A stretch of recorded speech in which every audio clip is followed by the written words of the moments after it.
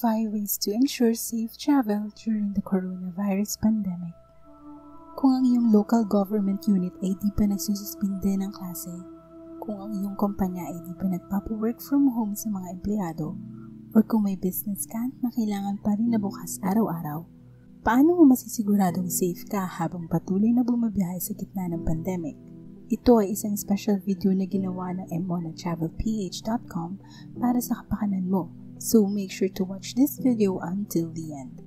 International travel bans, community-wide quarantines, and flight cancellations keep on happening here and there sa bansa. Ang priority ng ating gobyerno ngayon ay ang makonti ng pagkalat ng virus. Kung wala kang importanteng pupuntahan at kailangan na gawin sa labas, better na magstay ka na lang sa bahay. Nagkumpisa na ang community quarantine sa Metro Manila Suspended mula March 15 hanggang April 14 ang land, sea, and air travel papasok at palabas ng rehiyon. At dahil dito, mas lalong nalimitahan ang travel ng mga Pilipino. Pero ang salitang travel ay di lamang tumutukoy sa bakasyon o leisure activities.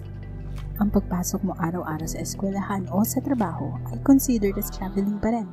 So here are the 5 ways to ensure safe travel during the coronavirus pandemic. Number 1. Wash hands with soap and water properly. Siguraduhin na maghuhugas agad ng kamay gamit ang sabon at tubig bago hawakan ang mukha. Kung walang access sa tubig at sabon, make sure na may dala kang alcohol o sanitizer man lang na pwede mong gamitin pansamantala.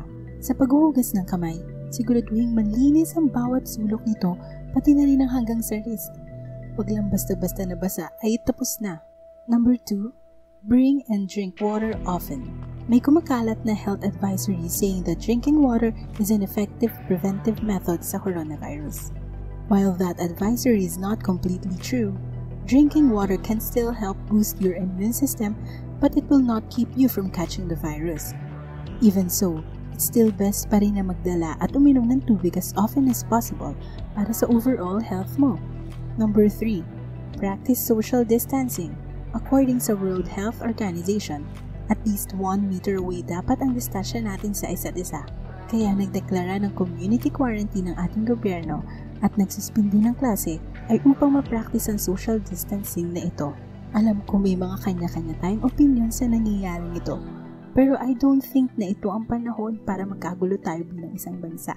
Try muna natin sumunod baka sakali may magandang mangyari naman. At para sa mga commuter na sumasabak sa mga crowded na public transportation, siguraduhin mo na lang na nagpag-practice ka ng proper hygiene at malakas ang iyong immune system para kung di man nasusunod ang social distancing dito, may panangga ka pa rin sa sakit. Write the kilang commuter in the comments below kung isa ka sa mga sumasabak pa rin sa public transport kahit may COVID-19 na. Number 4. Wear mask. Experts say na ang dapat lang naman magsuot ng mask ay ang mga may sakit. I believe otherwise. If pakiramdam mo na mas safe ka kung magsusuot ng mask, then by all means, wear one. Pero hindi ibig sabihin nito ay may karapatan ka ng manghord. Here's my suggestion. Kung may sakit ka, wear disposable face mask. If wala kang sakit, wear a cloth face mask.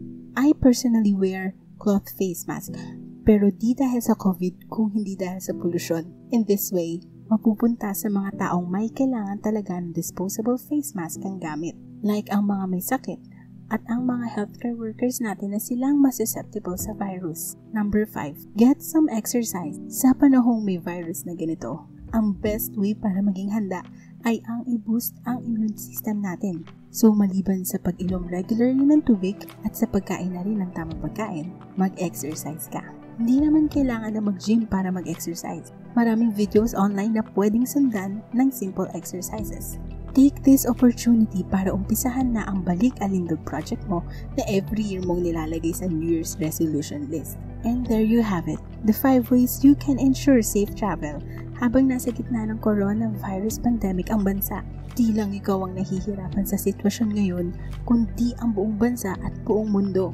So please, Huwag nang pasaway at sumunod na lang tayo. Ingit na ingit tayo sa ibang bansa kung bakit ang ganda ng pag-handle nila sa sitwasyon.